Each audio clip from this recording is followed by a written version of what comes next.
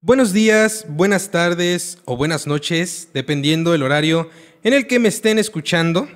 Les habla el licenciado Yitzhak Lira y en este día te voy a hablar acerca de un tema bastante polémico. Sé que muchas personas van a presentar su molestia. Organizaciones, canales en YouTube, divulgadores y líderes religiosos que han sabido hacer un negocio millonario a través de, entre comillas, palabras mágicas, las cuales ellos llaman Kavanot, a través de libros donde, según ellos, explican tener un secreto para la felicidad, la armonía, para la paz, para ser rico económicamente, para ser exitosos, sean judíos o no, solo se aprovechan de la ignorancia y la necesidad espiritual de las personas que están sedientas de conocimiento, las cuales son fácilmente manipuladas cayendo en estos fraudes, que son súper fáciles de identificar este tipo de artimañas. Pero como comento, la necesidad de las personas las llevan a caer en este tipo de engaños. Ya habían pasado varios meses desde el último podcast y preparando las siguientes series de temas, me di cuenta de algo muy común en Internet, del cual tenemos que tener muchísimo cuidado, ya que esto se está convirtiendo en un problema que trasciende fronteras, países, continentes.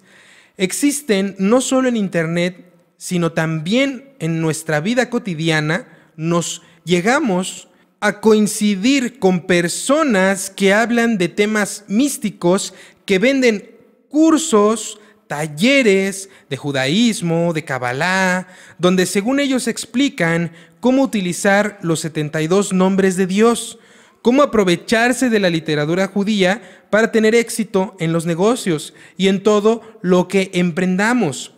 Ex líderes religiosos que se creen rabinos solo por haber leído uno o dos libros judíos de dudosa procedencia, los cuales modifican la Torah a conveniencia y crean sus grupos, los cuales hoy en día muchos de ellos ya presentan demandas judiciales en su contra por los delitos que han cometido en contra de personas inocentes que en su búsqueda de conocimientos han tenido que vivir un infierno en carne propia. Casos hay muchísimos y en donde solo existe una constante. Te vendo, te vendo, te vendo. Yo como líder me aprovecho, me aprovecho y me aprovecho. Te cobro, te cobro y te cobro. Dinero a través de la venta de productos milagrosos, recitaciones maravillosas, Pagos disfrazados de donaciones que más que ser una donación de corazón, esta tiene que ser forzada para poder obtener ese conocimiento milagroso. La venta indiscriminada de series de libros donde el 99.9% del libro son palabras rebuscadas de libros de autoayuda con 0.1% de contexto pseudo judío o alguna frase que dijo algún rabino importante en la historia, donde siempre se lee y se escucha lo que uno quiere oír o queremos escuchar. ¿A qué me refiero? Y aquí quiero explicar algo bien importante. El ser humano, a lo largo de su desarrollo, se ha acostumbrado a que le hablen bonito. Es muy satisfactorio que nos digan todo lo grandes y exitosos que podemos llegar a ser ya que nos hace sentir bien el hecho de que alguien llegue y nos platique que cumplimos con todos los requisitos para ser millonarios y exitosos, que si no lo somos hoy en día, lo llegaremos a ser mañana o muy pronto. Solo hay que tener un poquito de suerte y leer un libro maravilloso donde aprenderemos cómo desarrollar ese potencial, el cual cuesta cierta cantidad de pesos, dólares, euros, etcétera, etcétera, y casualmente dicha persona milagrosa vende. Nos enganchamos a este tipo de personas que comúnmente se les conoce como vendehumos, ya que no tienen ningún secreto el cual nos pueda servir más allá de hacernos sentir bien con cada palabra endulzada que nos dicen. Las personas por nuestro desarrollo psicológico y fisiológico estamos acostumbrados a desarrollar el sentido de pertenencia, sentir que somos parte de un grupo, una sociedad, nos hace sentir útiles e importantes, nos hace ser parte de un plan general en el cual estamos aquí por un objetivo. Creer que cumplimos este requisito nos da salud social y emocional nos hace sentir bien, pero con el pasar de los años, este sentido se ha perdido en nuestras sociedades, con la división de creencias, diferencias políticas, diferencias ideológicas, hasta en nuestras familias existen divisiones muy marcadas entre personas. Entonces, este sentido de pertenencia se ha perdido se ha comprobado que las nuevas generaciones presentan problemas de adaptación hasta en los círculos familiares. Aquí es donde entran estas personas que no solo en el ámbito religioso existen, no solo en el judaísmo, sino en todos los ámbitos de la vida. Personas que se aprovechan del vacío existencial que se vive hoy en día para poder vender su pseudoconocimiento a las masas que son fácilmente influenciables. En cualquier ámbito de nuestra vida, tenemos que ser muy críticos a las palabras de alguien más y saber diferenciar quién se acerca con buenas o malas intenciones. Un consejo que quiero compartir es el siguiente. Si una persona tiene la intención de ayudar diciendo que tiene el secreto para que se cumpla algo en nuestra vida, pero para acceder a este secreto tienes que pagar, comprar algún material o donar de manera forzosa para poder recibir este conocimiento, aléjate de ahí lo más rápido posible. Si alguien te dice que para poder pertenecer a cierto grupo, para poder practicar el judaísmo, tienes que pagar y después del pago ya eres parte del grupo, aléjate inmediatamente. Estos negocios son lucrativamente excepcionales, ya que convierten la necesidad de las personas en un modelo económico muy rentable. Con esto, tampoco quiero decir que no existan necesidades económicas que puedan ser suplidas con la ayuda de quien recibe un consejo o unas palabras que mejorarán tu vida. Pero sí hay que saber también diferenciar cuando solo te están vendiendo papel con tinta o palabras huecas y cuando en realidad te están ayudando. Existen muchos canales en Internet, rabinos, organizaciones que se dedican a difundir el judaísmo sin la necesidad de estarte pidiendo dinero cada cinco minutos o una compra o una donación o un pago o la compra de sus libros mágicos. Obviamente, estas páginas y estas personas tienen sus programas de donaciones en los cuales cualquier persona puede apoyar. Y con esto no digo que sean malas. Me parece a mi ver lo más sensato que puede hacer una persona honrada. Todo esfuerzo merece su pago, ya sea monetario o su recompensa en el Olamaba. Hacer videos, preparar los temas, realizar esta labor, es sabido que conlleva mucho tiempo, esfuerzo y dedicación, aparte de los años de estudio que implica el hecho de haber tomado esta carrera. Así que si tenemos que apoyar, no nos neguemos la mitzvah de la tzedakah, pero realmente investigar a las personas que verdaderamente valga la pena apoyar. Voy a comentar varios casos delicados, muy resumidos, que han ocurrido en estos años y que han sido noticia. No voy a decir nombres ni títulos de las organizaciones para no echarle más leña al fuego. El primer caso fue muy sonado, fue el caso de una pareja de ex líderes religiosos que formaron una comunidad pseudo judía en la cual ellos les vendían la literatura modificada de lo que ellos creían que estaba bien. Adaptaban las leyes de la Torá a su conveniencia, formando hasta parejas, como ellos entendían casando menores de edad con personas mayores, cobrando diezmos y cuotas de entrada a sus recintos, obligando a separarse hasta matrimonios de personas con diferencias ideológicas, destruyendo sus vidas en ese proceso. También ofrecían trabajo dentro de la organización, pero ¿qué creen? Sin goce de sueldo. Por último, muchas familias levantaron demandas en su contra y ya que ya se habían extendido por varios estados de la República Mexicana, muchas personas levantaron la voz. Actualmente están siendo buscados por la justicia mexicana. El segundo caso también fue muy sonado de un hombre que se autoproclamó rabino mesiánico, el cual logró tener un impacto muy grande en México, en varios estados de la República, pero que resultó ser un depredador sexual, el cual abusó sexualmente de varias niñas en su paso por algunos estados. Finalmente fue arrestado y hoy cumple una sentencia en la cárcel bajo la justicia mexicana. El tercer caso es muy sonado también. Una comunidad extremista judía, liderada por un carismático rabino extranjero, que llevaba la vida judía la más estricta y desagradable forma de vivir, adaptando su práctica a su propio entendimiento, llevando la vida de las personas a un oscurantismo más que a una elevación espiritual un atraso en todos los sentidos, no solo para los miembros adultos, sino también para sus hijos, ya que tenían prohibido estudiar cualquier otro tipo de temas u otro material que no fuera el que él autorizara por ser la máxima autoridad rabínica en esa localidad.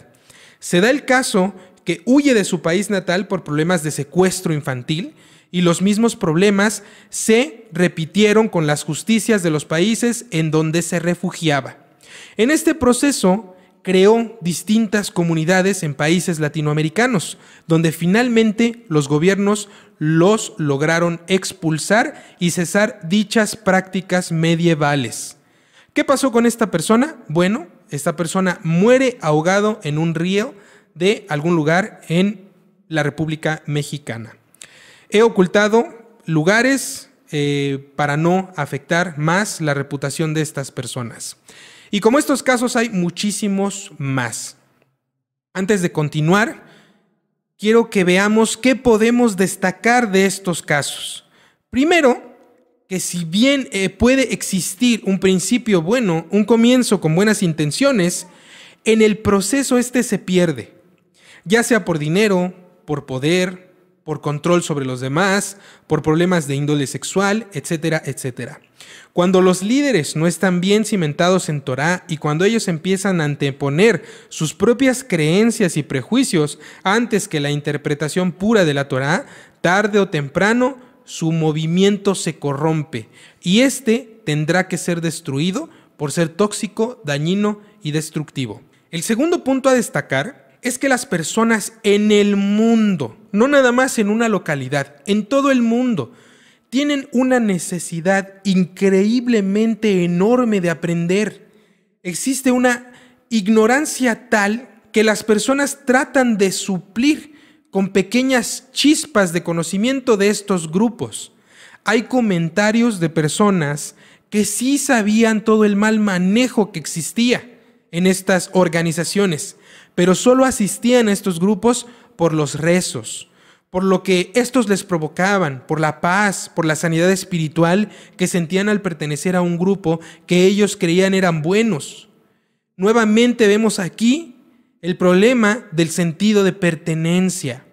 No es posible que estas personas se aprovechen de esto. Ya basta. Me uno al grupo de personas que están divulgando información acerca de estos grupos para su total extinción y eliminación, ya que si esto continúa y siguen creciendo, más personas estarán siendo estafadas, afectadas y estarán siendo lastimadas, vejadas y después aquellos que se acercaban para recuperar su identidad totalmente la perderán. Creerán que todos son iguales, que todos son lo mismo. Y aquí hay que decir que no. No todos son iguales, no todos son malos, no todos son como los casos que hemos comentado. Existen personas y grupos que se han preparado por años para poder brindar información de calidad y enseñanzas totalmente judías.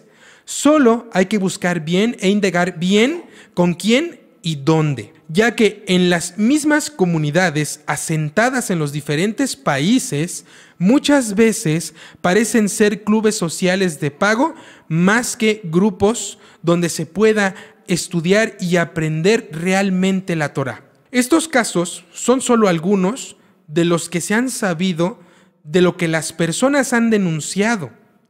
Pero aquí hay otro rubro.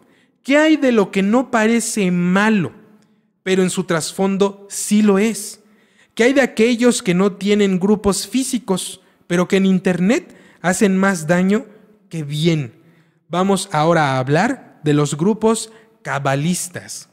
Existen muchísimos, infinidad, en todos los idiomas, canales que hablan de Kabbalah, del misticismo judío, pero ¿en realidad sus prácticas son cabalísticas? Esa es la pregunta. Venden ideas falsas porque su conocimiento está basado en una simple lectura sin escrutinio ni profundidad de textos de rabinos de 1800. Estos personajes también dicen que su práctica la basan en el Zohar, el cual dicen comprender. Yo quiero hacer una pregunta. Si ni los rabinos más grandes de nuestra generación mencionan y de las generaciones pasadas mencionaban comprender el Zohar a la perfección, ¿cómo es que estas personas carismáticas pueden dar siquiera una opinión acerca de dicho material? No dudo que existan rabinos en Israel que hayan dedicado sus vidas al estudio de Torah y que puedan comprender dichos textos a profundidad, pero obviamente no los vamos a encontrar en un canal de YouTube haciendo servicios y explicando cómo hacer vibrar las letras del tetragramatón, porque así es como se debe hacer para obtener milagros aprovechándote de su energía. Enseñando tremendas tonterías que rayan en la imbecilidad, dando a relucir cada día más su ignorancia, tomando los textos de manera literal y anteponiendo su autoconocimiento, su raciocinio y palabras propias antes que la verdad.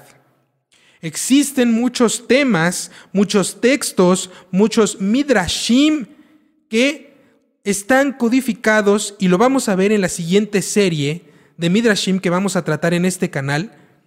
Muchos textos codificados que cualquier persona que se lo toma literal no lo está aprendiendo de la mejor forma posible. Quiero comentar el caso también de la utilización de los 72 nombres del Eterno, como mencionan muchos, las 72 emanaciones de las cuales estos grupos utilizan para captar la atención de los incautos.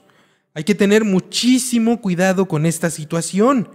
En sus clases y talleres, ellos explican cómo pronunciar dichos nombres y venden hasta placas adornadas con joyas, plata y madera, adornos con dichos nombres. Venden amuletos y talismanes para los negocios, las casas, etc. También mencionan cómo utilizarlos a nuestro favor y nuestro beneficio para hacer cumplir nuestros propósitos y ayudarnos a ser ricos, exitosos, estar sanos, tener felicidad, armonía, paz, etcétera, etcétera, etcétera. ¿A quién en su sano juicio se le ocurre que los nombres de Dios están a disposición del ser humano para cumplir la voluntad del ser humano mismo? Obviamente a este tipo de gente sin escrúpulos, sin educación, sin criterio, sin sentido común y con un alto grado de estupidez humana. La gente que sí tiene sentido común y que ha entendido y estudiado, sabe bien que Dios no es sirviente del hombre ni sus emanaciones, ni sus nombres, ni el judaísmo es la llave a utilizar para abrirte todas las puertas del mundo y por arte de magia tener la gran vida que siempre has querido. Si tu principal motivo para rezar, para guardar Shabbat, para aprender Torah es ser rico económicamente hablando, creo que tienes tu enfoque completamente equivocado no por pronunciar ciertas palabras que ellos interpretan mal de hecho, porque el hebreo es la lengua sagrada, la Shon HaKodesh, Dios bajará corriendo a suplir tus necesidades. Creer en esto es creer que Dios es una construcción humana dedicada y esperanzada a las palabras del hombre para su rápida resolución. Es como tener un mayordomo que está pendiente de las palabras de su Señor. Hasbe Shalom, Dios libre y guarde la hora en que esto pueda llegar a ser verdad entienden el nivel de estupidez y blasfemia al que han llegado estos grupos? Creer que el ser humano tiene la fuerza, la santidad, el dominio y el poder para hacer esto, y en nuestras generaciones casi casi se ponen al nivel de Moshe Rabbeinu y los patriarcas. Y déjenme decirles, los patriarcas nunca llegaron a tanto. En Shemot 27 está escrito en la Toira y dice así: No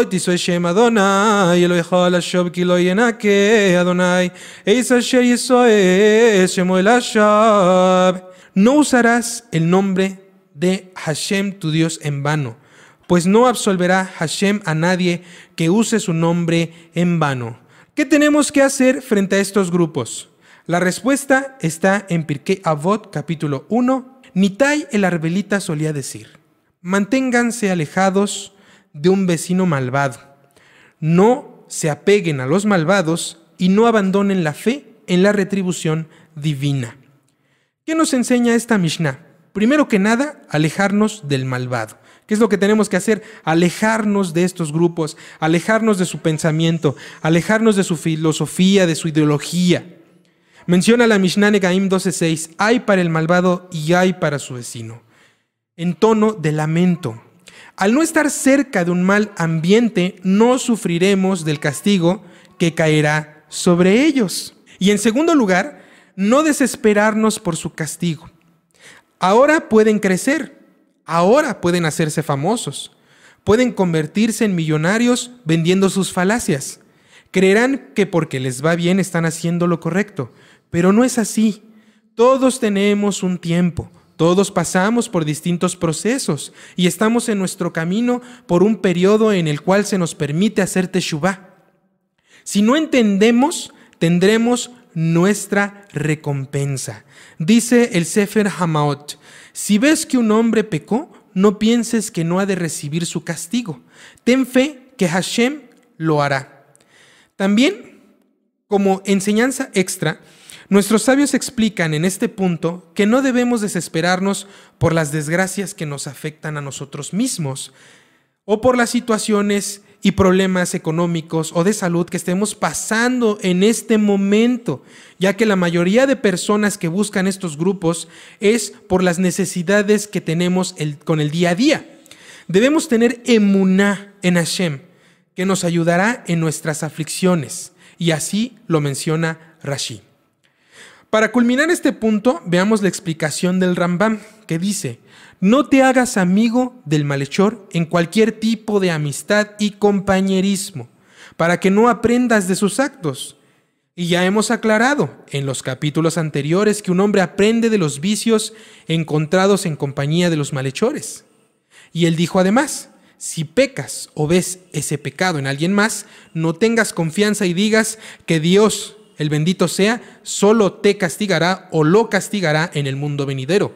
Y no desesperes de una rápida venganza de el Eterno por este pecado que tú o la persona hayan cometido. Con esto nos damos cuenta que no solo en el Olam Habá ellos tendrán su castigo, sino también en este plano de la vida, en este mundo. Después de esto, quiero preguntar algo, para no quedarnos vacíos. Entonces, ¿cuál es el secreto del éxito? Si estas personas hubieran descubierto en verdad ese secreto y resultara que este secreto milenario es la base del éxito y lo aprendido de alguna comunidad judía, milenaria también, ¿no creen que, por ejemplo, los judíos jaredí que viven en Israel que han pasado muchísimos años estudiando Torah y descifrando a profundidad los textos sagrados, serían una comunidad de multimillonarios asentados en Israel? Según cifras de organizaciones económicas, estos judíos subsisten gracias a los apoyos gubernamentales del Estado de Israel. Ellos estudian, sus mujeres trabajan y el gobierno los mantiene. Es un dato que para muchos espero en verdad les abra los ojos. Obviamente estas comunidades tienen una forma de vivir muy estricta. Tienen leyes y bases donde la tecnología está limitada, etcétera, etcétera, etcétera.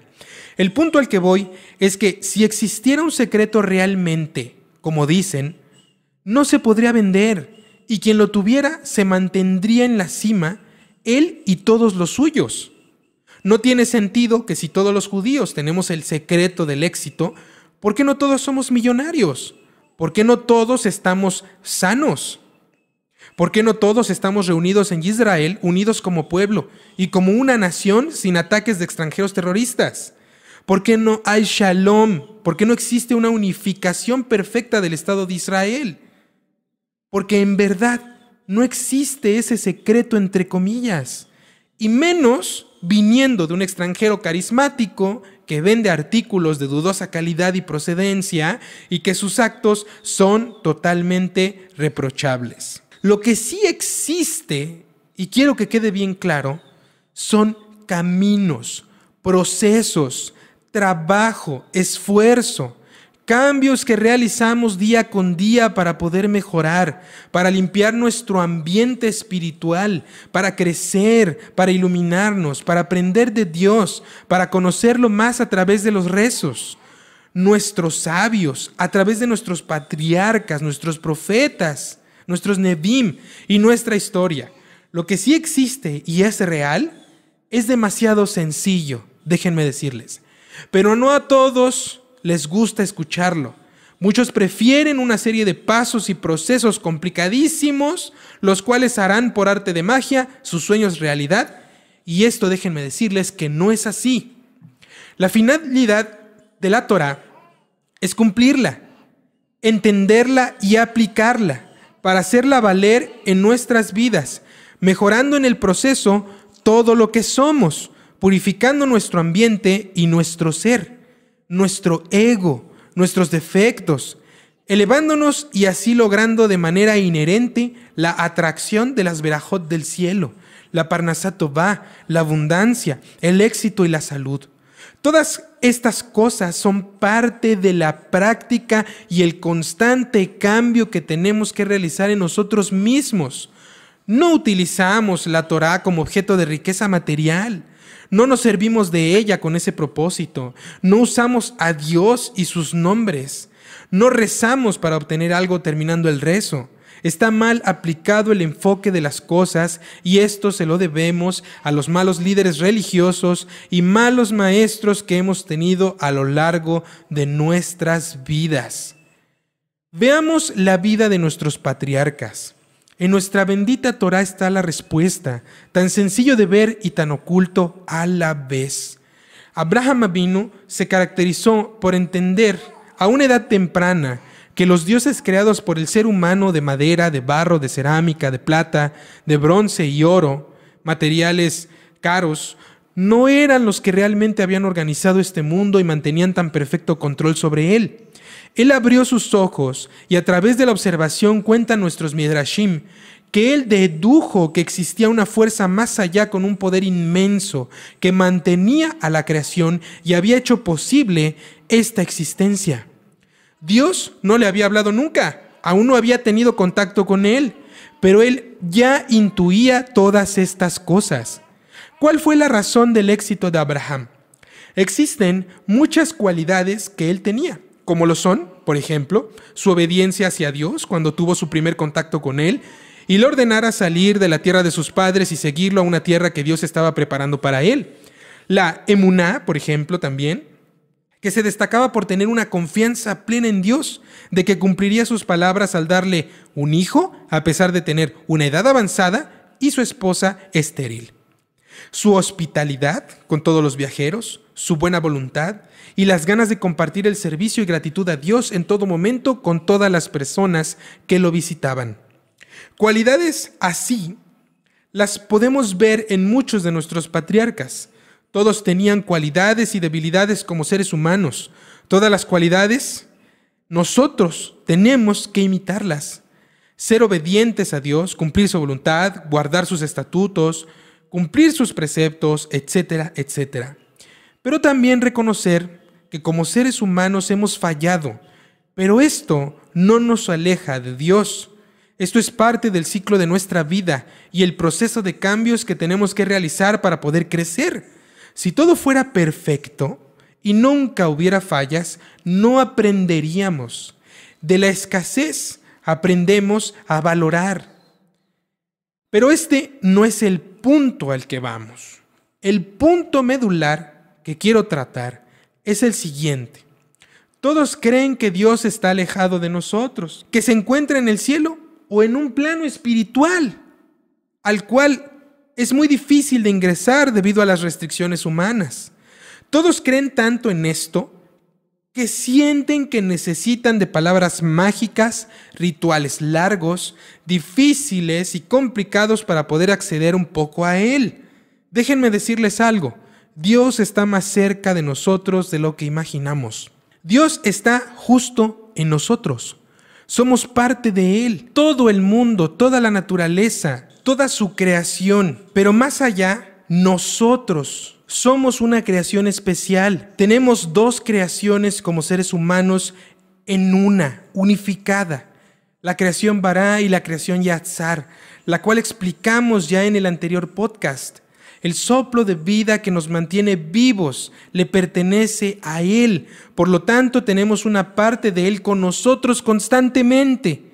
Tan fácil como expresar nuestros sentimientos, nuestras súplicas, nuestra gratitud, nuestro amor, nuestros miedos, nuestras dudas, nuestras alabanzas al Creador desde el mismo lugar donde nos encontremos. ¿Por qué tratamos siempre de complicarnos las cosas cuando la respuesta está más cerca de lo que creemos? ¿Por qué no elevar tus plegaras al cielo desde lo más profundo de tu corazón ahora mismo? No necesitas más nada para tener una conexión con Dios más que abrir tu boca, preparando tu espacio para hablar con aquel que te creó, con el que sabe realmente cómo funciona tu cuerpo, tu organismo. Pídele directamente sanidad. Aquel que sabe realmente qué etapa de vida estás pasando y por qué no puedes recibir aún esa economía que anhelas. Él es el único que sabe cuándo podrás comprar eso que quieres y con sabiduría conoce los tiempos. ¿Te sientes mal contigo mismo por los errores que has cometido en el pasado? Abre tus labios y pide perdón buscando el cambio. ¿Quieres rezar? Hazlo. Los rezos ya están establecidos y son, un compendio de alabanzas, agradecimientos al Creador, peticiones para salud, buena economía, armonía, bendición, para pedir perdón, etcétera, etcétera. Pero hazlo ya. No te esperes a recibir el secreto, que el secreto no existe. Elevar las plegarias en la tefilá es parte de las necesidades de nuestra alma espiritual, dicen nuestros sabios. Hay un concepto que me encanta, el cual se llama Hitbodedut. Es el tiempo que apartamos para hablar solos con el Creador. Dicen nuestros sabios que tenemos que apartar un tiempo especial del día, prepararnos para ver al Creador, destinar un lugar donde no seamos interrumpidos, un lugar tranquilo de la casa o al aire libre, cerca de algún río o un lago, un bosque, meditar acerca de las verajot del día, agradecer al Creador por la vida y entonces platicar con Él, contarle todo como si de un Padre se tratara. Al final es nuestro Creador, el Padre que nos ha dado la vida, desahogarnos con Él en ese momento. También es propicio recitar Tehilim, los Tehilim tienen un poder increíble comprobado por generaciones. Este tipo de prácticas se deben realizar con emuná, sin pena y con la mayor convicción de que está siendo escuchado por el Creador del universo. Si no lo han hecho alguna vez, se los recomiendo. Es reconfortante y el sentimiento de sentirse tan procurado en ese momento es inconmensurablemente hermoso. Y es ahí, queridos amigos y amigas que nos escuchan, queridos suscriptores, es ahí donde se comienza a mejorar todo. Es ahí donde empezamos a ver que realmente tenemos una comunicación y una conexión palpable con el Eterno. Y eso se empieza a sentir y afectar nuestra vida día a día con cambios visibles en nuestras vidas, en nuestro caminar, en nuestra salud, en nuestra economía. Cuando realmente tenemos un contacto con Dios, como nuestros patriarcas y profetas. No es hasta que ellos mantienen una comunicación con Boreolam cuando realmente sus vidas cambian. Abraham no habría sido Abraham si no hubiera sido por la buena comunicación que tenía con el Creador. Y Jacob habló con Dios, le pidió que lo protegiera porque tenía miedo de su hermano Esab cuando venía de las tierras de su tío. Moshe Rabbeinu se convirtió en el más grande profeta a partir que el Creador se comunicó con él en la zarza. Y así todos los más grandes. La comunicación con Dios es vital. Si no la desarrollamos, jamás tendremos una conexión que nos haga que las verajot se manifiesten. ¿Cómo podemos sentirnos parte de Él si no tenemos contacto con Él? ¿Cómo podremos apegarnos a Dios sin conocerlo, sin tener la confianza de poder expresarnos con Él? Dejemos a un lado las excusas y comencemos a crear una conexión con nuestro Creador. Dejemos también ya de buscar métodos fraudulentos, complicadísimos para llegar a Dios. Dios está cercano a nosotros en todo momento, tan cerca que puedes hablar con Él ahora mismo. Dejemos de enriquecer y hacer famosos a grupos dañinos que solo buscan un beneficio propio. Fíjense bien, queridos suscriptores, queridos amigos, antes de ingresar, e inscribirse, pagar a este tipo de congregaciones, fíjense bien, cuídense y cuiden a sus seres queridos. No se dejen de este tipo de personas. Con esto concluyo este podcast y también aprovecho para comentarles que estaré subiendo temas muy interesantes acerca de los rezos, sus leyes, aplicaciones, la tefilá, el hitbodedut, de manera más ampliada. Me gustaría saber sus preguntas, sus opiniones, así que no olviden comentar en la caja de comentarios. También quiero agregar que terminando el rezo de Shaharit, también tendremos el de Minha, el de Arbit, el Keriat Shema a la mitad. También vienen proyectos muy grandes con el cual queremos arrancar, como la recitación de los Tehilim con su segulá, las Parshois. Quiero agradecer a todos y todas por sus comentarios, sus suscripciones, por compartir nuestro material que poco a poco está creciendo. La finalidad es lograr tener una comunidad digital sana, alejada de la toxicidad de las redes sociales que hoy en día abunda donde podamos mantener contacto, resolver dudas, desarrollar temas interesantes y sobre todo que podamos aplicar la Torah en nuestras vidas. Y así nuestras vidas cambien para bien y seamos todos bendecidos por nuestro Creador. También quiero hacerles saber a las personas que utilizan mal este material de este canal, este conocimiento, con el fin de aprovecharse de él para su propio beneficio. Que no pararemos de subir material. Es una labor difícil y costosa, pero no pararemos. Porque nos robe nuestro esfuerzo, no nos detendremos. Seguiremos actuando de buena voluntad, manteniendo este contenido al alcance de todos, porque nuestro fin, nuestra misión es Letakem Olam Malhut Shaddai, perfeccionar el mundo a través de la soberanía del Todopoderoso, y que todo aquel que tenga sed de conocimiento lo encuentre a su alcance. Pero eso sí, no te sientas tranquilo, porque el malvado podrá enriquecerse del trabajo de otros y podrá mofarse y sentirse que lo puede todo. Pero quiero decirte, querido amigo, ¿por cuánto tiempo? Hashem es el único que sabe y que da la oportunidad de hacer teshuva. A las personas que están realizando cosas que no están bien, hagan teshuva y retornen al camino. Aún cuentan y contamos con tiempo. El contexto, para los que no saben, es que surgieron personas que están utilizando los rezos que subimos al canal, bajan el video, los reproducen en sus centros de reunión y cobran la entrada por escucharlos. Me parece de lo más repugnante este tipo de líderes religiosos, pero espero de corazón que entiendan y retornen al camino bueno. Para los suscriptores y personas oyentes que hacen sus rezos de corazón y con amor, buscan a Dios, déjenme decirles que continúen así. Para eso es este material de apoyo. Que el Eterno les bendiga, les prospere y les preserve todos los días de su vida. Les habló el licenciado Yitzhak Glira y nos vemos pronto.